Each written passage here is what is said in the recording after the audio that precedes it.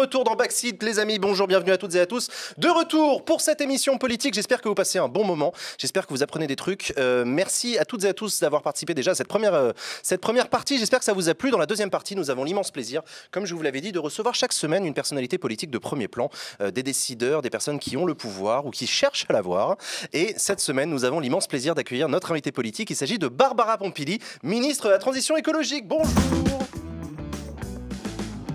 Bonjour. Bonjour. Bien. Du coup, il a réussi la transition. Voilà, la transition est réussie. Il y a eu de la Transition musique écologique. et tout. Non, c'est- la transition écologique, elle est bien vue. Elle est bien faite. Bonjour. Barbara Pompili. Merci d'avoir accepté notre invitation. Bah de rien. Comment allez-vous?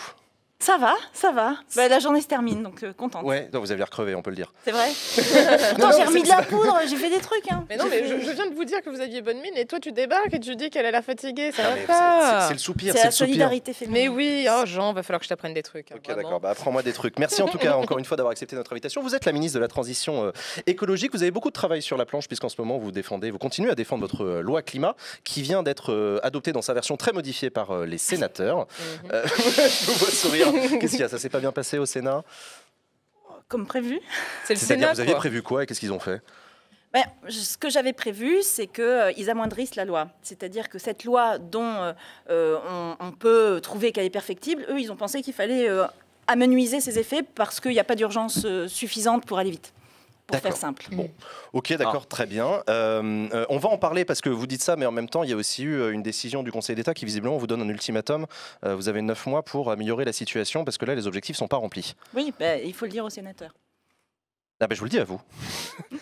Oui. Non mais c'est vrai, c'est vrai, on n'est pas, on n'est pas au niveau. C'est vrai, France quand vous êtes, quand vous ministre, euh, quand vous êtes ministre, vous faites comment pour euh, répondre à ça? C'est compliqué quand Bah, même. ah bah, pour répondre à ça, c'est assez simple. En Ah bon? fait, il faut se battre tous les jours, tous les jours, tous les jours pour faire avancer les choses sur tous les sujets. Et sur cette loi-là, par exemple, ce que nous dit en fait le Conseil d'État, il nous dit écoutez, ce qu'on voit, c'est que globalement, il n'y a pas de trou dans la raquette en termes de thèmes. Enfin, vous avez à peu près euh, couvert tous les sujets pour pouvoir baisser nos émissions de gaz à effet de serre. Oui, mais dans les mais thèmes, il y a par plein de contre, trous. par contre, non, mais par contre, euh, là, on n'est pas convaincu que ça aille assez vite. Mhm. Et donc, ils disent, euh, il faut que vous alliez plus vite, le plus loin possible. Donc moi, ce que je dois faire déjà là, c'est que la loi que je suis en train de faire voter, que je fasse, la fasse appliquer le plus vite possible. Il nous donne neuf mois, ça tombe bien, c'est à peu près jusqu'à la fin du quinquennat. Donc moi, jusqu'à la fin du quinquennat, je ne vais pas faire, comme certains pourraient penser, m'arrêter une fois que la loi est votée. Je vais faire tout le travail de fourmi que personne ne voit, qui est de faire les décrets, de faire Bien en sorte sûr. que tout s'applique dans la réalité le plus vite possible. Les Mhm. décrets, ça peut être très long à prendre. Et moi, je vais faire mon maximum pour que ça aille le plus vite possible. Est-ce que vous pensez que cette loi est suffisamment ambitieuse? Oublions le Sénat. Euh, je suis écologiste depuis 20 ans. Mhm. Donc, je peux vous dire que pour moi, ça ne va jamais assez vite. Le changement climatique, il est là. Euh, vous voyez ce qui se passe au Canada en ce On va moment. en parler. C'est une horreur. Euh, on a euh, des 49-50 degrés qui sont Mhm. arrivés. Mhm. On a, je crois qu'on est arrivé à 500 morts. Euh, voilà, c'est ça, le réchauffement climatique. Et euh, c'est pas que au Canada, c'est chez nous aussi. Quand on a des canicules qui suivent des tempêtes, des sécheresses, etc., on est en plein dedans.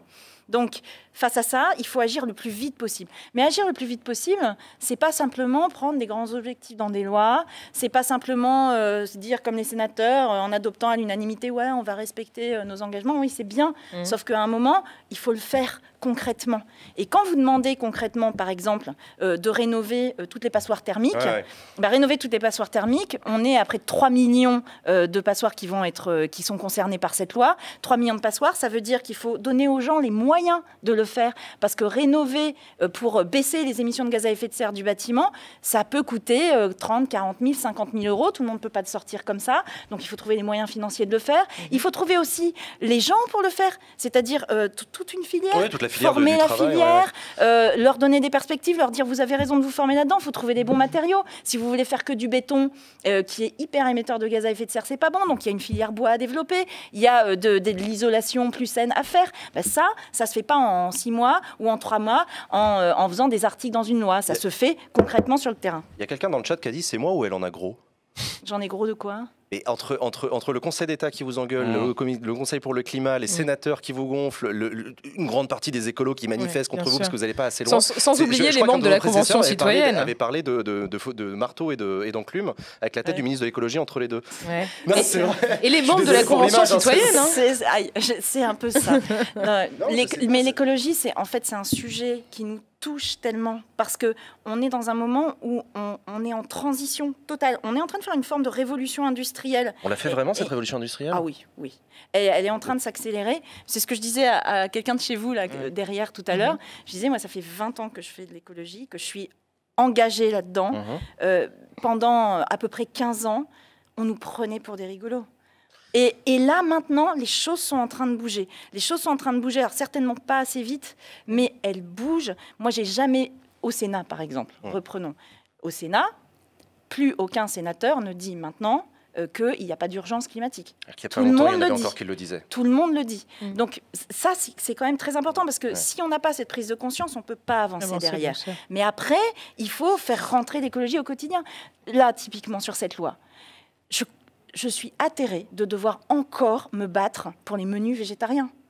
On Que- en est encore là. Que les pour sénateurs ont retiré de la loi, ouais. un menu par semaine dans les cantines. Moi, je Oui, suis pas je du tout contre pas la viande, de c'est pas sujet. consensus au, Mais là- au gouvernement, au sein du gouvernement, il n'y a pas trop de consensus. Je me, Ah, je me souviens si, de Darmanin si. qui avait sorti que c'était complètement absurde ou je ne sais quoi. Non, c'était parce que Il est c'était revenu, sur, il est revenu sur sa décision? C'était sur, euh, c'était sur un euh, point où euh, le maire de Lyon, il y avait eu une incompréhension parce que euh, il, il croyait qu'ils allaient enlever tous les menus euh, hors végétarien et ne plus laisser que du végétarien et rien Vous d'autre. pensez vraiment qu'il y avait une etc. incompréhension? Euh, c'est c'est comme ça qu'il avait réagi Ah. et c'est comme ça euh, que je l'interprète. Personne au gouvernement ne m'a dit il faut pas faire de menu végétarien. Votre prédécesseur Nicolas Hulot, quand il avait quitté le gouvernement, avait dit on n'est pas aidé par tout le monde au gouvernement. Il y a Mm. notamment du côté du ministère de l'économie et du ministère euh, de l'agriculture, pour pas les nommer, euh, des vrais freins à la transition écologique. Quelles sont vos relations avec Bruno Le Maire, avec Julien de Normandie?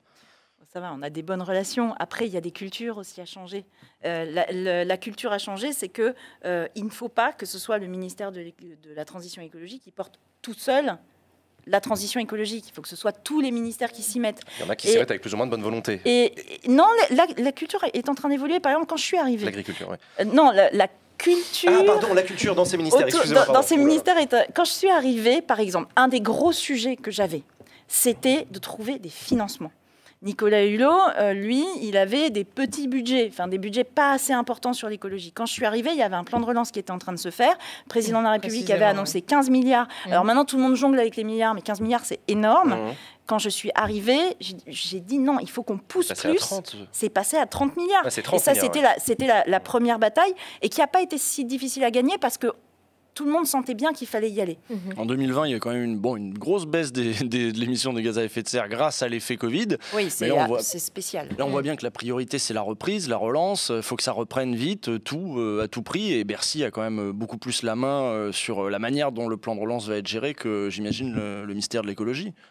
Ah, détrompez-vous, on a la main, on a la main sur, euh, sur une bonne partie des crédits du plan de relance qui sont sur la transition écologique.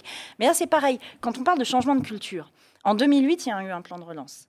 Personne n'avait pensé à faire de l'écologie avec le plan de relance. Parce Mhm. qu'il y avait toujours ce, cette idiotie qui sortait et qui ressort encore régulièrement euh, entre l'écologie contre l'économie. Euh, Oui, oui. Bah, la En fait- croissance verte est-elle possible? Ça, c'est une question qui est très souvent posée euh, dans Oui, le bah chat. voilà. On en parle. Plein Et de bah gens là- disent non. Et bien là, pour la première Pour vous, oui. fois, pour la première fois, on a un plan de relance qui utilise l'écologie comme un facteur de développement économique. C'est-à-dire que maintenant, on fait investir des entreprises, etc., parce qu'on a besoin du tissu, euh, évidemment, évidemment, des entreprises, sur l'écologie. On fait des investissements pour d'abord qu'ils baissent leurs émissions de gaz à effet de serre, donc on fait un focus là-dessus, sur les gros secteurs qui émettent des gaz à effet de serre, donc que ce soit l'industrie, que ce soit les bâtiments, les transports, l'agriculture, donc on met des moyens là pour qu'ils baissent leurs émissions, puis on développe des nouvelles filières. Donc les filières qu'on voit beaucoup, alors il y en a une qui fait beaucoup parler d'elle, qui est la filière hydrogène, qui est une filière très intéressante, mais qui est une filière parmi plein d'autres. L'économie circulaire, par exemple, le, re- euh, tout le recyclage, la réutilisation, tout ça, ça crée énormément d'emplois.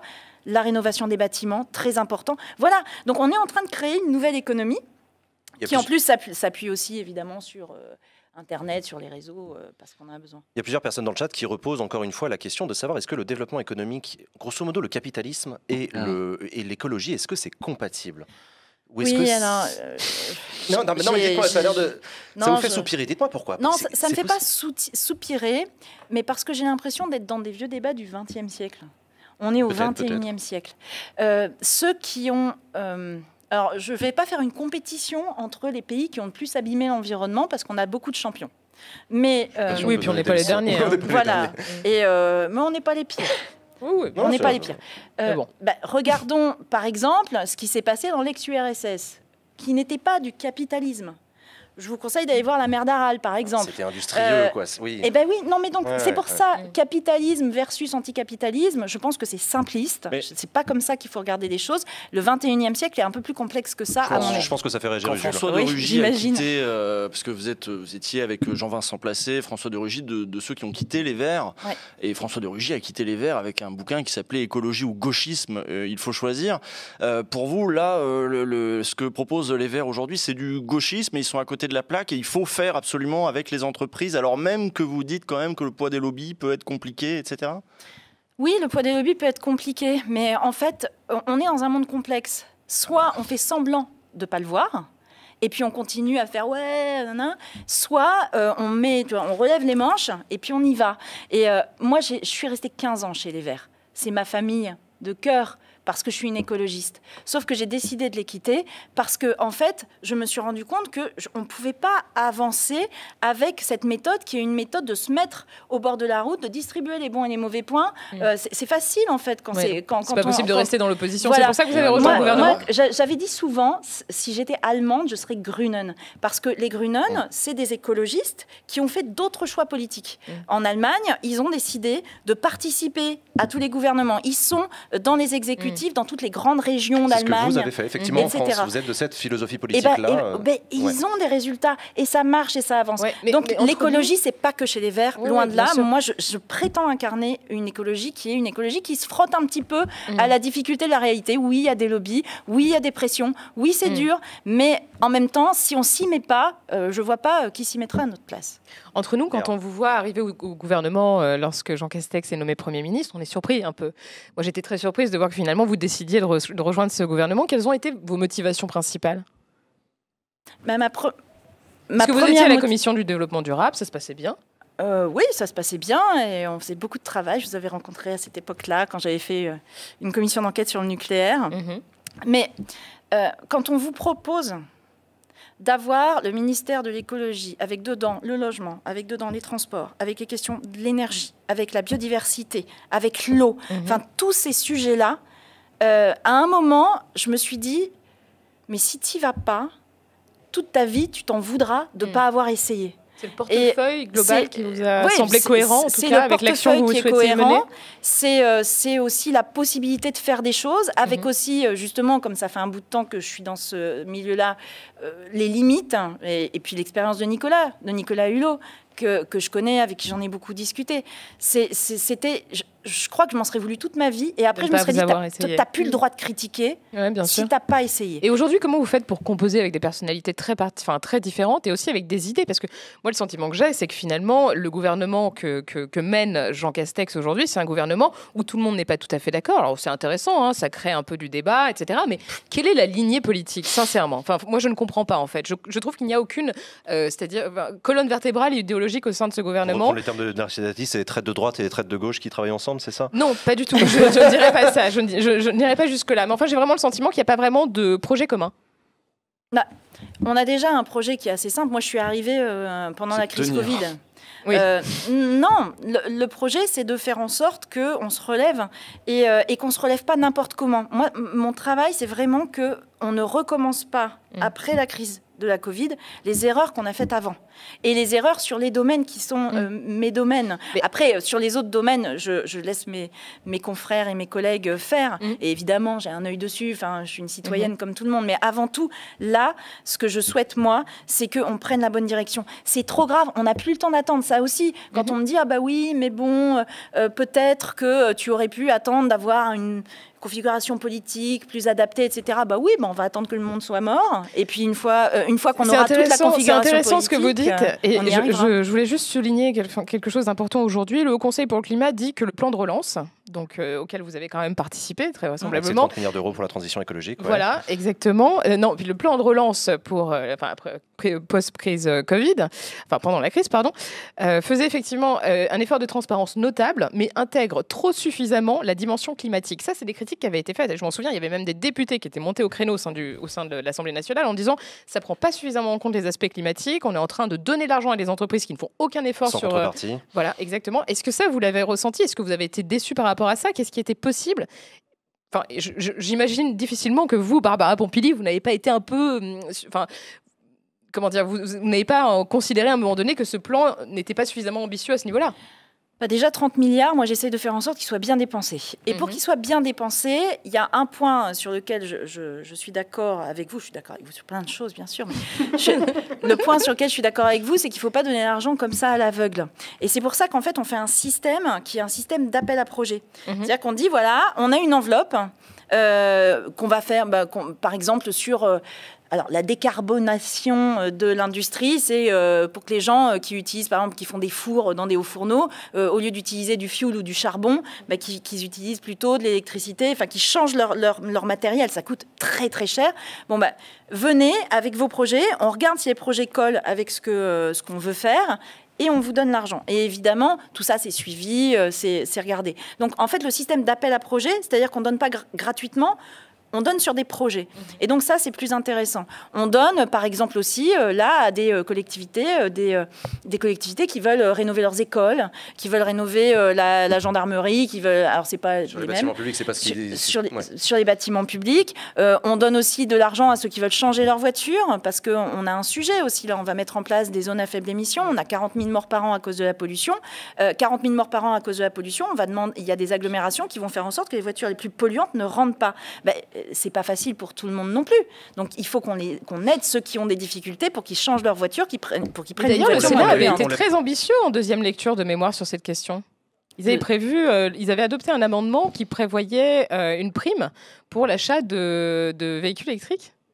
Mais elle existe déjà. Il existe déjà. Elle non, mais vraiment, enfin, je- Euh, ouais, ouais, c'est pas le quelque genre, chose. Attends, Non, mais. Elle, elle existe- elle Ce que je note surtout, c'est que les sénateurs, sur la mise en place des zones à faible émission, donc ces, ces fameuses zones pour euh, ouais. faire baisser la pollution euh, dans les, dans les agglomérations, euh, ils ont décidé de la repousser de 5 ans.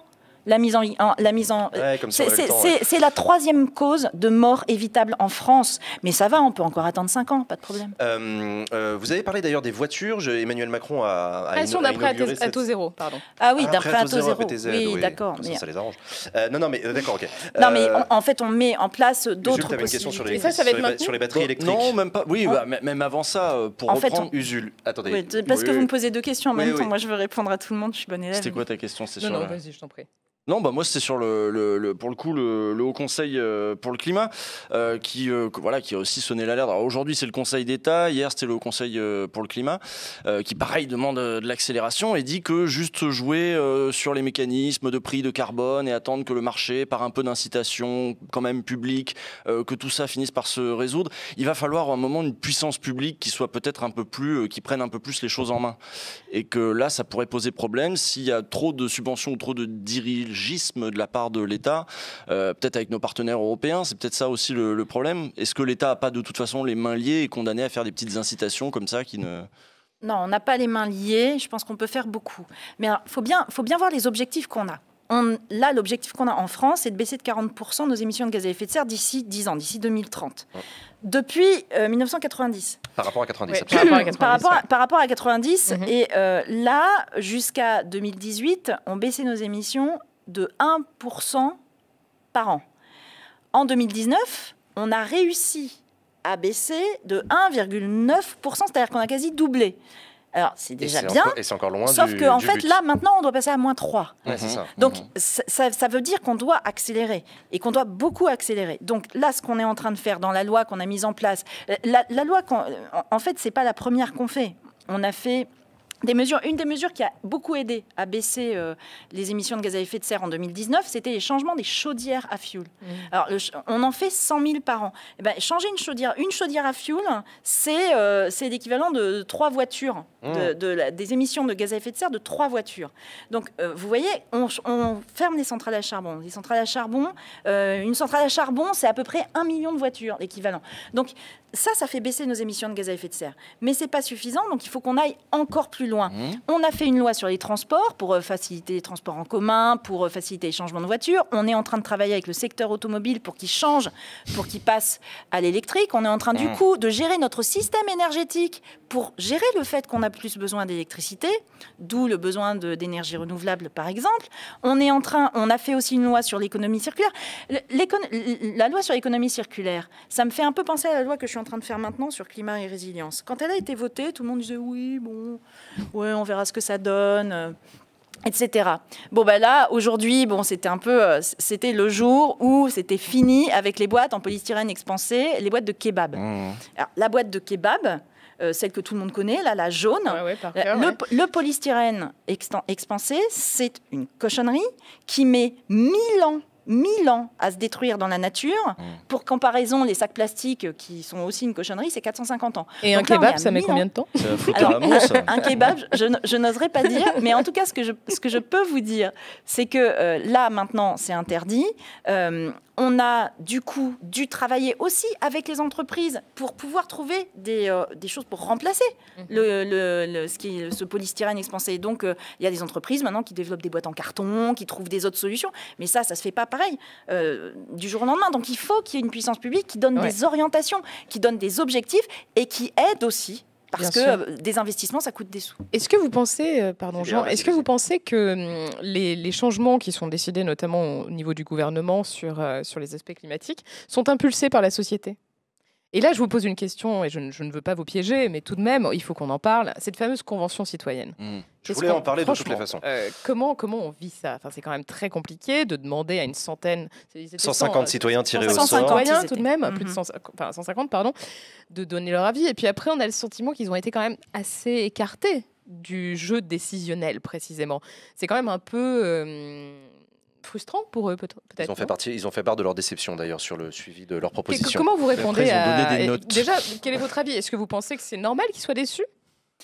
Je pense que quand on s'est investi, quand ils- comme ils se sont investis, il faut, faut bien voir que pendant neuf mois, ils ont travaillé comme des dingues, ils se Mhm. sont investis, ils ont passé des week-ends entiers euh, qu'ils auraient pu passer en famille ou euh, à vivre leur vie, Mhm. qu'ils ont consacré à ça.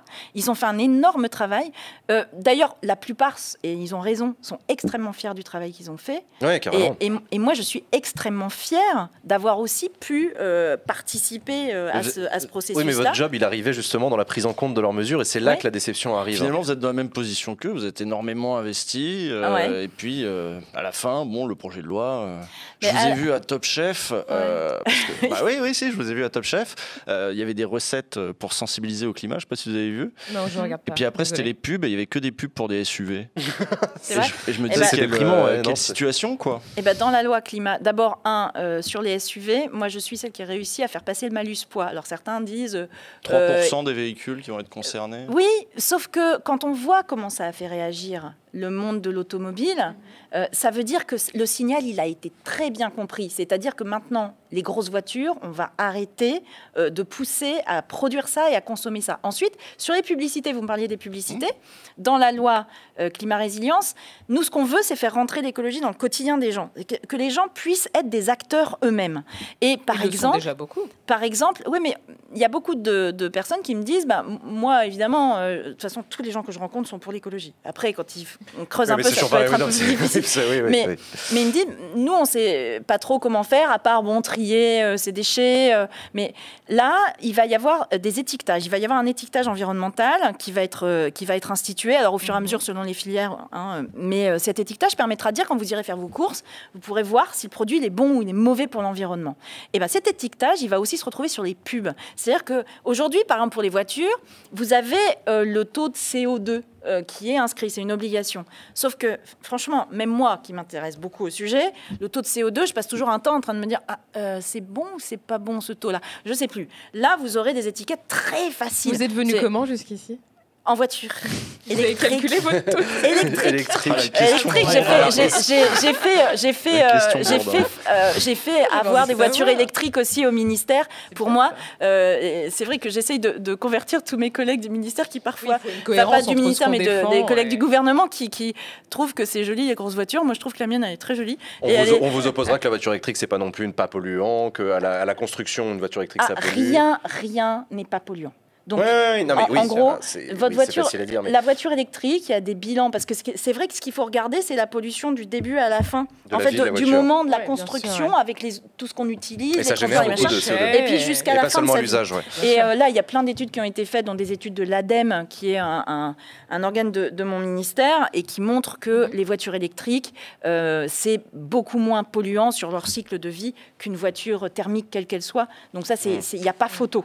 Il n'y a pas Sans photo. compter les problématiques sur Et les puis, euh, ressources. Et... Et mais pour que les gens, il reste aussi des acteurs, parce que euh, il y a aussi une autre étiquette qui était dans la loi, euh, dans une autre loi, mais qui est en train de s'appliquer là, qui est l'étiquette de réparabilité. Pendant trop longtemps, on a laissé s'installer une société où, Mhm. en fait, on achetait et on jetait, et où on tout était fait pour qu'on puisse pas réparer. Et Et notamment, on soudait les pièces, des choses comme ça. Et ben là, on va voir l'indice de Mm. réparabilité. Ça va vouloir dire quoi? Ben, ce que vous- Quand vous allez acheter votre machine à laver, votre cafetière, etc., euh, les cafetières, c'est pas tout de suite, mais ça vient après, vous, vous pourrez voir si c'est facilement réparable ou pas. C'est-à-dire s'il y a des pièces détachées et qui n'arrivent pas au bout de six mois, des pièces détachées disponibles, des pièces détachées pas chères, parce qu'il y avait aussi euh, Ouais, le, le petit système qui faisait que la pièce détachée était disponible, mais tellement chère qu'en fait, ça te coûtait moins cher de racheter euh, ta machine. Euh, pas sûr. cher, disponible, euh, si les pièces sont pas soudées, etc. Et ben cet affichage-là, déjà, bon, bah, ça permet à chacun de pouvoir faire ses choix et de pouvoir choisir. Et ça fait déjà bouger les industriels. Parce que là, il y a des industriels qui sont en train de revoir la conception de leur machine parce que, justement, ils se rendent bien compte que si leur machine, elle est indiquée étiquette rouge pas réparable, bah, elle sera moins achetée que l'autre à côté qui est réparable. Vous Je, parlez je des- reviens, attends, je, je reviens quand même sur parce que là on se fait engueuler par le chat et ils ont Ah. bien raison parce qu'on on est passé un peu vite sur la convention citoyenne. La Oui. convention citoyenne pour le climat. C'était quand même effectivement une innovation, euh, quelque chose de, de très nouveau, qui a un peu surpris dans la foulée du grand débat national, on s'en souvient. Ouais. Euh, le président de la République qui convoque une assemblée de 150 citoyens tirés au sort en leur donnant une feuille de route quand même pas négligeable. Donnez-nous des solutions pour réduire de 40% nos émissions de gaz à effet de serre euh, par rapport à 1990.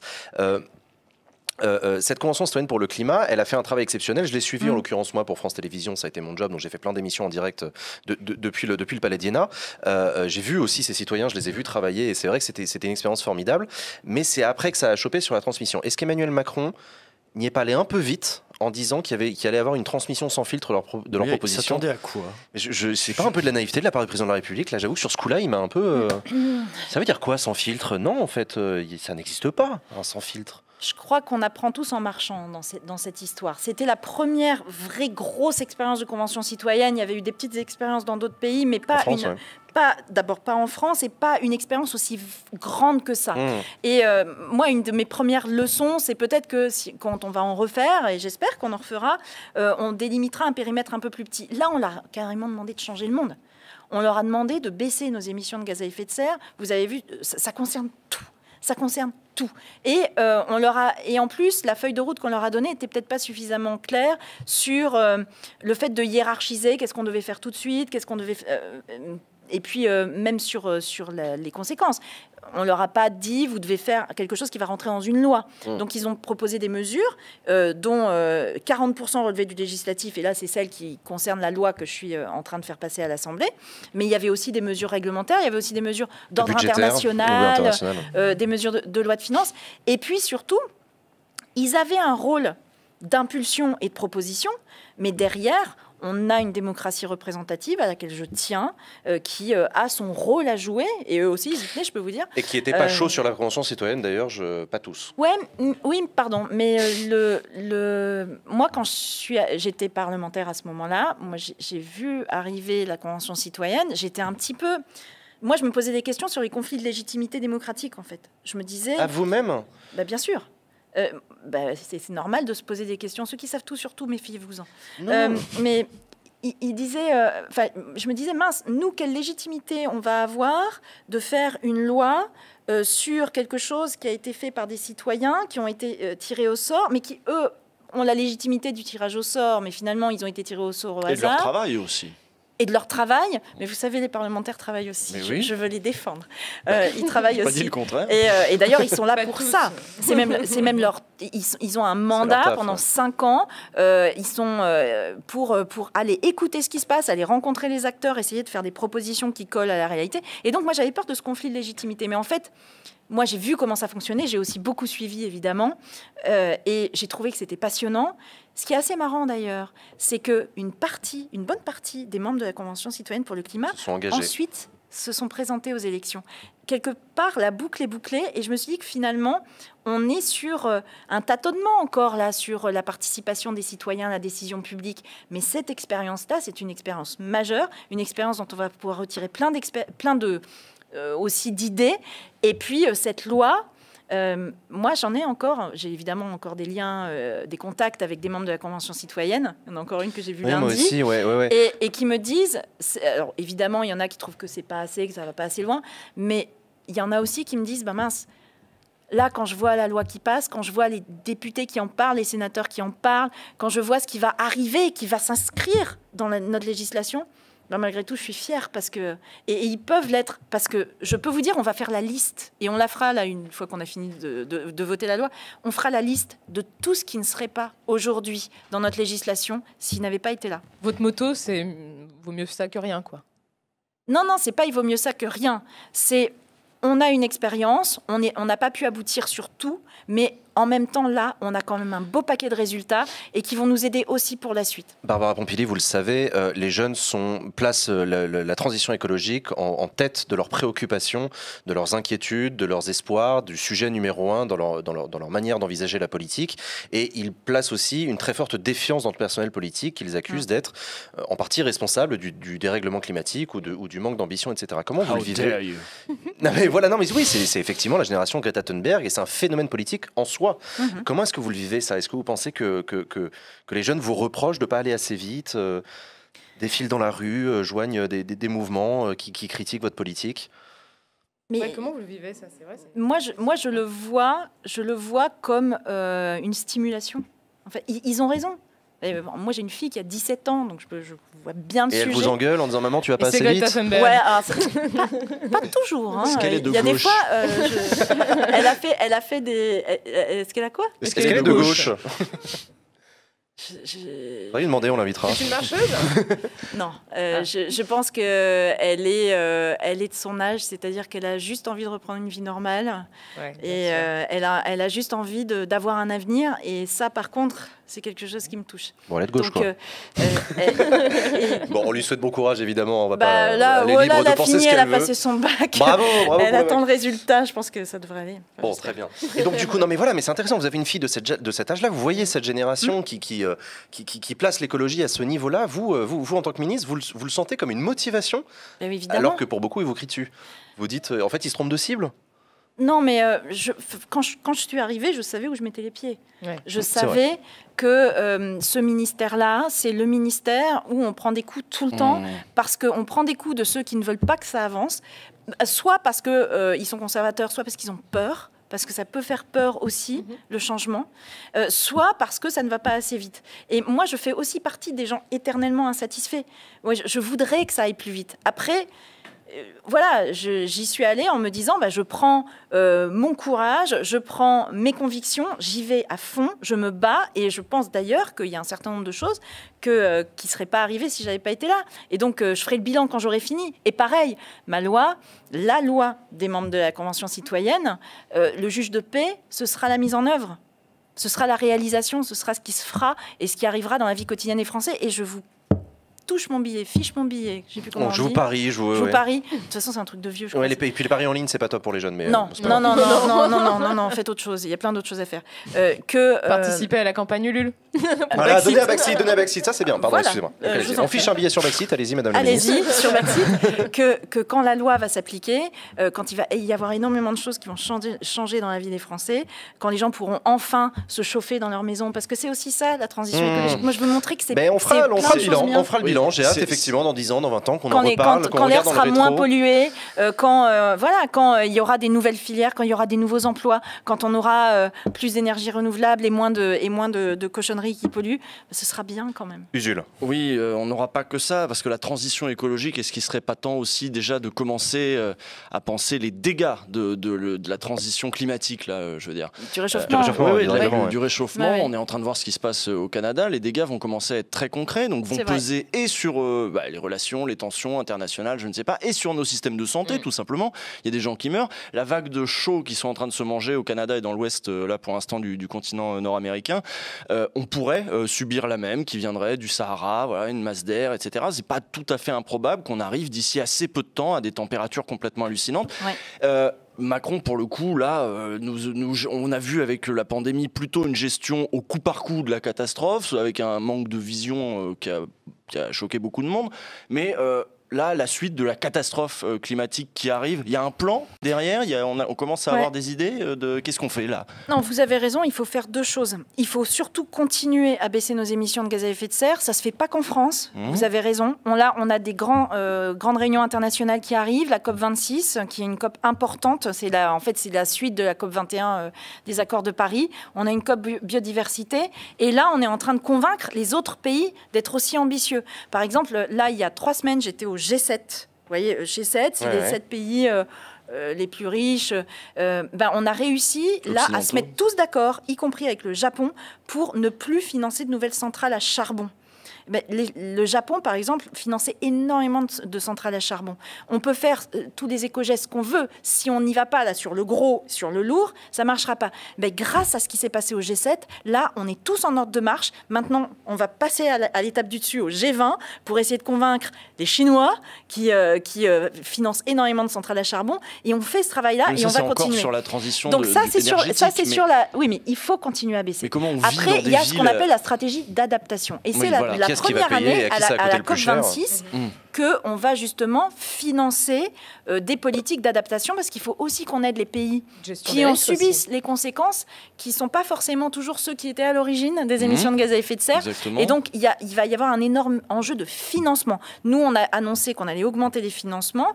Euh, là, le président de la République il a annoncé qu'il mettait 6 milliards sur la table, mais on va augmenter les financements au niveau international.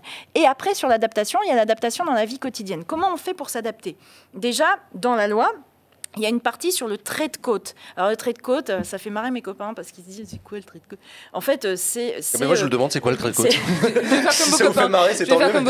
c'est quoi le trait de côte C'est quoi le trait de côte C'est euh, tout simplement le fait que la- le réchauffement climatique va entraîner une montée des eaux. Mhm. Ah, le trait de côte. Le trait de côte. Je croyais que c'était un Sur- terme anglo-saxon. euh, Le trench coat, Le comme le trench coat, mais on va bien d'accord. le trait de côte, parce que l'augmentation de c'était une ville dans le nord menacée par la montée des eaux qui avait déposé justement au Conseil d'État euh, ce, ce- ce Ouais, ouais, recours. hein. Voilà, et on le voit, on a eu, et là on a eu des problèmes concrets. Il y en a un qui est un peu emblématique, qui a un immeuble qui est euh, sur la côte euh, atlantique dans le sud, dans le sud-ouest, qui s'appelait le Signal, qui était en train de commencer à s'écrouler parce que euh, la mer avait avancé, et donc euh, il fallait, ben, euh, tout bêtement, Signal là pour le coup, indemniser les gens qui étaient dedans sûr, parce qu'ils ouais. doivent déménager. Et donc là, on a tout, euh, là tout un système justement maintenant de gestion de ça. Du, non, c'est pas de l'urgence justement. C'est que là, ça va arriver. Donc on a des maisons qui vont s'écrouler, il va falloir faire reculer, il va y avoir des villes qui vont euh, être en difficulté. Et, euh, et alors, dans le monde, on a des millions de personnes, euh, même milliards, je crois, qui sont concernées Qui par la montée du trait de côte. Et après, il faut aussi qu'on aide, par exemple, nos agriculteurs. L- Les sécheresses, euh, les, euh, et aussi les, les risques d'incendie, et, et le trop d'eau, c'est d'un seul coup la grêle qui arrive, ou le gel qui est arrivé il n'y a pas longtemps, c'est une conséquence directe du changement climatique, ça leur tombe dessus directement. Ils vont plus, il va y avoir un problème d'eau. On va avoir un problème d'accès à l'eau. L'eau, on en a besoin pour l'agriculture, on en a besoin pour en, pour en boire, évidemment, on en a besoin pour l'industrie, on en a besoin pour euh, refroidir nos centrales nucléaires. Bref, on en a besoin pour tout.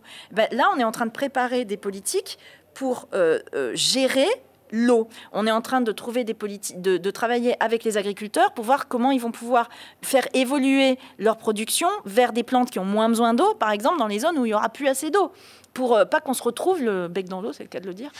Mais donc c'est ça la résilience. En fait, Ouais, dans ouais. la loi climat résilience, la résilience, c'est ça. Dans les villes, on va on va avoir des périodes de canicule où on va crever de chaud. Mmh. Ce qu'il faut absolument, c'est qu'on remette de la végétation dans les villes. Donc on a aussi des programmes, et là on travaille Là, évidemment avec bons, les les maires collectivités Sur territoriales. on tape tout le temps. Les Mais maires. les maires, les maires qui font de l'écologie, que ce soit des maires verts ou que ce soit d'autres maires, moi je suis avec eux pour les aider. On a, là, on, c'est plus le moment de se tirer dans eux. les pattes pour des bêtises. Là, moi je suis à leur côté quand ils veulent mettre des arbres dans la ville, quand ils veulent remettre de la verdure, parce que c'est ça aussi qui va faire baisser les températures. On a des trucs dans la loi pour baisser l'artificialisation des sols, les coulées de boue qu'on a, les inondations, c'est aussi parce que on continue On à construire des lotissements partout, on, on met du béton partout. Donc limiter l'artificialisation des sols, arrêter à terme l'artificialisation des sols, voilà. Mais tout ça, euh, bah, euh, ça, Et euh, les il faut en parler avec des maires, il faut en parler avec euh, des Les responsables. territoires de- d'outre-mer. Les Alors on, a- on territoires arrive dans les Territoires d'outre-mer Il y aura de plus en plus de cyclones. De, C'est de- vrai. de- Absolument, bien sûr, C'est qui vont subir, qui vont C'est subir très il faut, il faut, il Et faut les regarder populations les plus fragiles sont les premiers. Il faut euh, regarder en termes d'urbanisme, il faut regarder en termes de construction, comment on peut protéger. C'est un énorme énormément.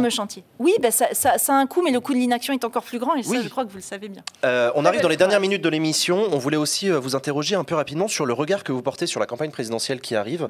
Euh, moi, j'ai une première question. C'est quel regard est-ce que vous portez sur, sur votre ancienne famille politique, le camp euh, écologiste socialiste qui se réfléchit Mm. à une union autour de figures, quelle qu'elle soit, peu importe, mais qui en tout cas a bien l'intention de mettre la, la- la lutte contre le changement climatique au top de ses priorités. Vous les voyez comment? Comme des démagos? Vous pourriez les Non. re-rejoindre? Non, Vous pourriez les rejoindre euh, Soyons clairs. Que tout le monde, je dis bien tout le monde, mette l'écologie au top de leur agenda politique, ça, c'est ce que je souhaite et je pense que c'est nécessaire. Euh, le- ce qu'on a mal vécu avec l'écologie pendant très longtemps et encore maintenant, c'est que c'est jamais le moment. On a une crise Hmm. Covid, euh, on a euh, Ouais, je ne sais quoi. C'est c'est pas plein, le ouais. moment. Donc c'est jamais le moment. Donc là maintenant, c'est le moment. On n'a plus le temps. Donc que toutes les forces politiques se mettent en branle pour le faire, pour, euh, pour euh, trouver des solutions et pour en proposer, il faut que ce soit le cas. De gauche, de droite, tout ce que vous voulez.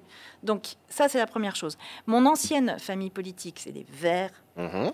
Parce que je suis une écologiste et je reste une écologiste, j'ai arrêté d'espérer j'ai arrêté d'espérer qu'ils allaient euh, euh, devenir plus. de droite. Non, c'est pas ça. C'est plus pragmatique. C'est s- Mais C'est ça, simplement. plus pragmatique. Moi, c'est toujours je- ça. moi, je- j'en avais marre d'être avec eux euh, et, et de passer mon temps à me faire engueuler quand j'essayais de faire des choses. Donc, ils, ont décidé d'être dans beaucoup de- d'incantations. Euh, c'est très confortable. Être dans l'opposition, il n'y a rien de tel. Être dans l'opposition, on est là. On lit beaucoup. Déjà, j'aimerais tellement avoir le temps de relire un peu. On lit beaucoup. On a le temps de dire ce que vous faites, ça va pas. Donner des notes, c'est bien. Oui, c'est pas bien. Mais il y a qu'à faucon. Euh, moi, c'est pas c'est pas ma conception de la politique. Donc il y en a plein chez les Verts que j'aime beaucoup. On a les mêmes analyses du problème, mais on n'a pas la même manière de voir comment les résoudre. Et résoudre les le problèmes, c'est s'y mettre un petit peu. C'est s'y mettre. Et euh, ceux d'ailleurs qui s'y collent en général euh, mais, euh, se retrouvent confrontés à des difficultés. Et c'est normal, mais il faut les surmonter, il faut y aller. Le- la- Mais il y a la- des maires écolos partout là maintenant euh, qui ben, sont- ça y est, sont, certaines grandes villes. sont en situation. euh, Eh ben, Ouais, tant- ouais, eh bien, ça. eh bien, eh bien qu'ils fassent des, ré- des- des réformes, et quand ils feront des réformes sur l'écologie, et certains en font déjà, ils me trouveront à leur côté parce que c'est nécessaire.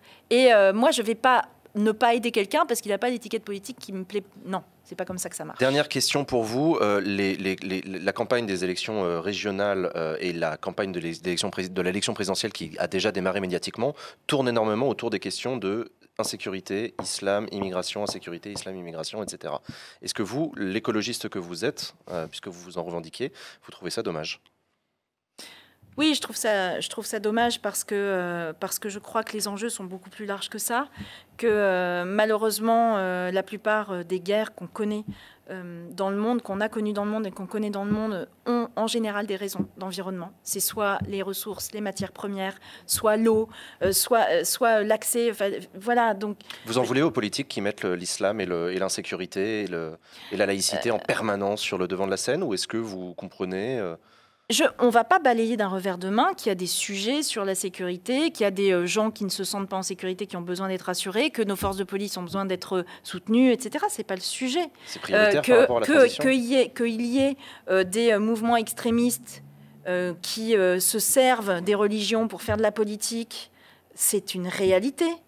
Et euh, cette réalité-là, il faut la combattre et il faut la combattre jusqu'au bout parce qu'en général, en plus, ça se double euh, de, euh, ça se double de, de- de mesures très anti-femmes. hein. Enfin, l'égalité homme-femme chez ces gens-là, ça n'existe Non, non, pas. oui, ce ce, sont des, ce sont des gens qui, qui veulent monter les gens les uns contre les autres. Moi, je crois qu'on est dans un combat mondial. Dans ce combat, on doit être unis. Et donc, il faut s'occuper de ces sujets. Mais je veux dire, si on parle que de ça pendant la campagne présidentielle, Bah, on passe pas à côté du débat démocratique. Ce serait moment. dommage. Mais j'espère bien que le Parce que ça aussi, ça nourrit l'abstention des jeunes. C'est pour ça que je dis ça. C'est si on parlait un tout petit peu plus de climat, et je sais pas vous que je vais le reprocher, hein, je dis ça pour les autres, mais non, mais c'est pour ça. C'est qu'il y a un côté, euh, voilà, ministre Ça de la transition sympa les écologique. conseils de Mais ministres. je crois, non, mais je crois que tout le monde, je crois que tout le monde J'aimerais doit, là, tout même. le monde doit s'y mettre. Pour le coup, Ouais. tout le monde doit s'y mettre, Euh, les hommes et les femmes politiques, mais aussi les médias, mais aussi, euh, aussi les jeunes aussi, euh, mais ils le font. Mais ils s'y euh, mettent ils le d'ores et font. déjà.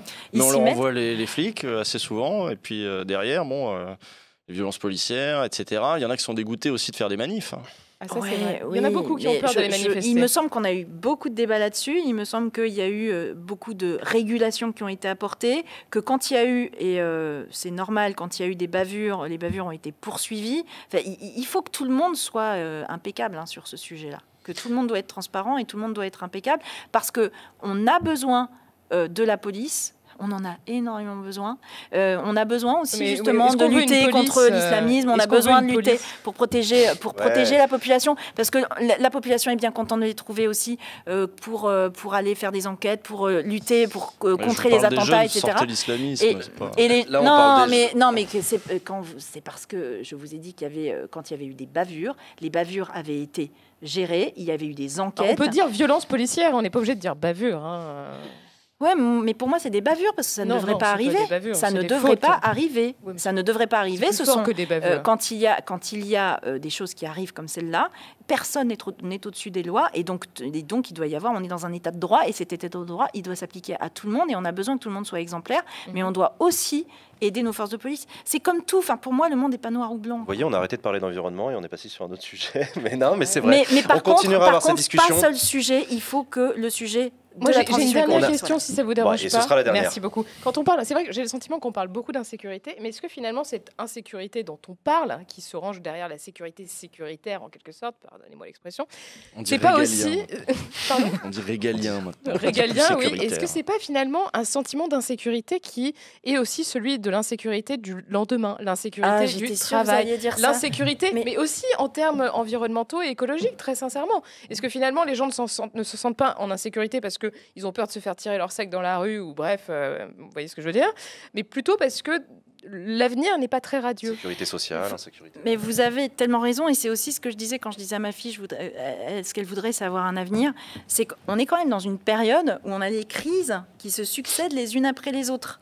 Euh, on, a, on a eu euh, déjà euh, la crise économique, la crise des Gilets jaunes, qui a été un moment qui montrait d'ailleurs cette inquiétude. On a eu la crise Covid. Qui, a aggravé la crise économique. Et puis derrière, on a toujours cette espèce de menace Mhm. euh, de la crise écologique. Et donc, face à ça, c'est vrai que ça a de quoi être un peu Anxiogène, décourageant, ouais. anxiogène, euh, de faire en sorte aussi que les gens se replient un peu sur eux-mêmes. Euh, et donc, face à ça, moi, je crois que le rôle aussi peut-être des politiques, mais pas seulement des politiques, mais aussi des politiques, c'est de redonner de l'espoir et de redonner des perspectives. Et moi, c'est ce que j'essaye de faire sur euh, l'écologie. C'est de dire, oui, il y a le réchauffement climatique qui arrive, vous avez dit, euh, euh, il se voit, mais c'est pas seulement une source d'angoisse. Et, être, un, être un politique, c'est affronter aussi la réalité, l'affronter et donner des outils pour pouvoir euh, avancer, pour pouvoir construire un avenir. Moi, ce que je ne veux pas, c'est qu'on ait le mur qui nous arrive dans la tronche sans, qu'on ait anticipé. On doit anticiper, et anticiper, c'est tracer un chemin. Et moi, c'est ce que j'essaye de tracer euh, à ma modeste place. Mais que j'essaye de tracer à travers les lois, à travers etc., pour justement pouvoir redonner des perspectives et pouvoir dire à ceux qui nous suivent, bon bah on a essayé de nettoyer un peu parce que euh, on n'avait pas euh, tout anticipé, mais là on essaye de nettoyer, on vous prépare quelque chose dans lequel vous aurez votre place et vous pourrez vivre et vous pourrez être heureux. Moi, ce que je souhaite, c'est que ma fille, que euh, ses enfants, ses petits-enfants, puissent être heureux. Et on leur souhaite aussi. Merci beaucoup, Barbara Pompili, d'avoir accepté notre invitation. Vous avez été notre invitée politique cette, cette semaine.